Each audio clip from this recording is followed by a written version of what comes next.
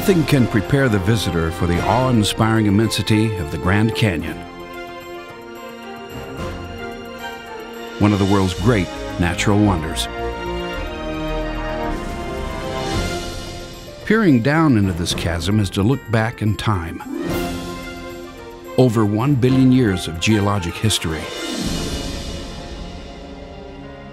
Nowhere else can such a span be seen at once and so graphically laid out.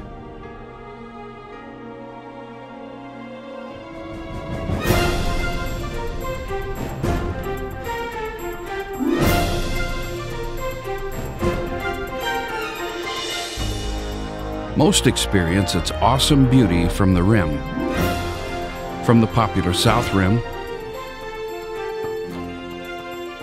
and from the remote North Rim. But for the adventurer, there's a world to be explored in the Grand Canyon's wild country.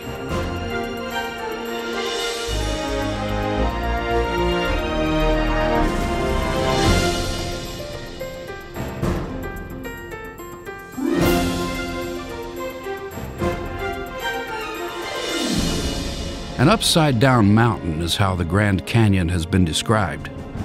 It is a place that transcends simple descriptions.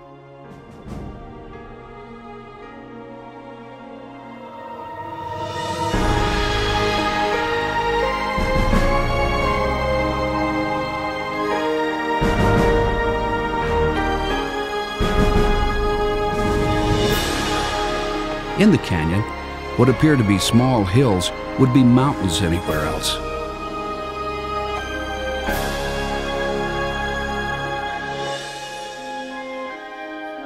Man-made wonders pale before the immensity of this great chasm.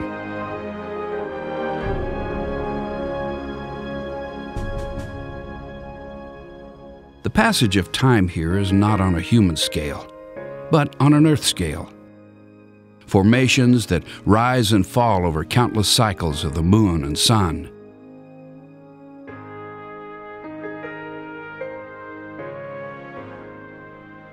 This is the canyon against which all other canyons are measured.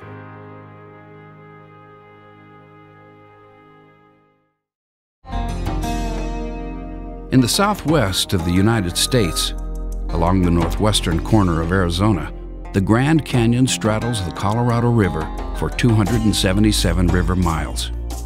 Most of the canyon is protected in Grand Canyon National Park.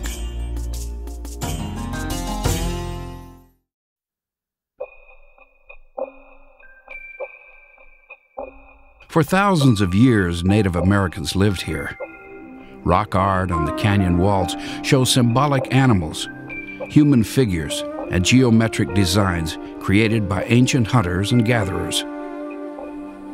The first inhabitants were descendants of Asian immigrants who arrived during the last ice age. Split twig animal figures made from willows are some 2,500 to 4,000 years old. The people who made them left little other evidence of their occupation of the area.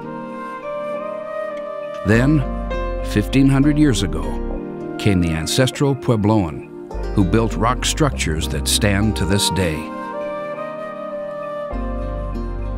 Searching for gold, Spanish explorers crossed the high desert and stood on the rim of the canyon. That was in 1540.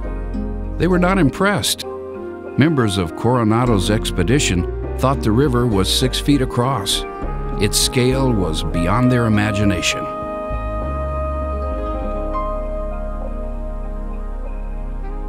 In 1776, Francisco Garces, a Franciscan priest, named the river Colorado, the color red in Spanish.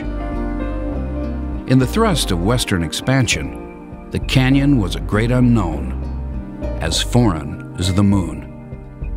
Until John Wesley Powell, just over a century ago, ventured into the canyon. A major on General Ulysses S. Grant's staff, Powell lost his arm in the terrible Battle of Shiloh, but he never lost his thirst for adventure.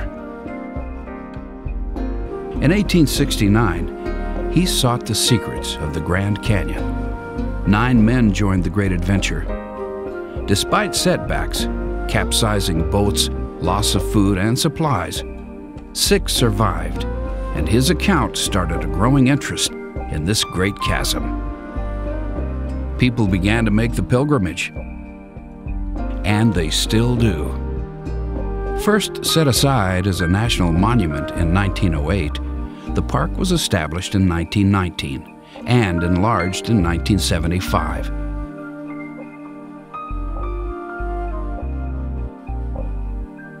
Today, millions of people from around the globe experience this spectacular gallery of nature.